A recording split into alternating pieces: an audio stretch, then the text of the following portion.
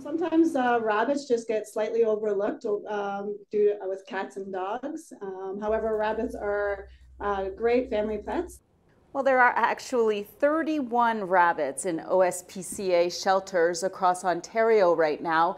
And unfortunately, they get overlooked very often when people are looking for new pets. And some of them have been in shelters for way too long. This is Marshmallow Fluff, and Marshmallow Fluff has been here at the Orangeville and District Animal Center, um, the Ontario SPCA, for 165 days. Ralphie and Carlos are a bonded pair of brothers. They've been in shelter since they were discovered in a dumpster a year ago as newborns.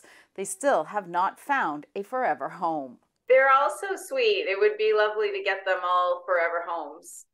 Absolutely. You can go to our iAdopt website. Um, the Ontario SPCA and Humane Societies is having an iAdopt campaign for the holidays. The OSPCA is hoping their iAdopt holiday campaign will inspire some families to consider rabbits. They're quiet, they have great personalities, and they love to play. To see all of the rabbits currently up for adoption at the OSPCA for iAdopt for the holidays, you can go to our website, citynews.ca slash extras. At the Ontario SPCA in Stouffville, Audra Brown, City News.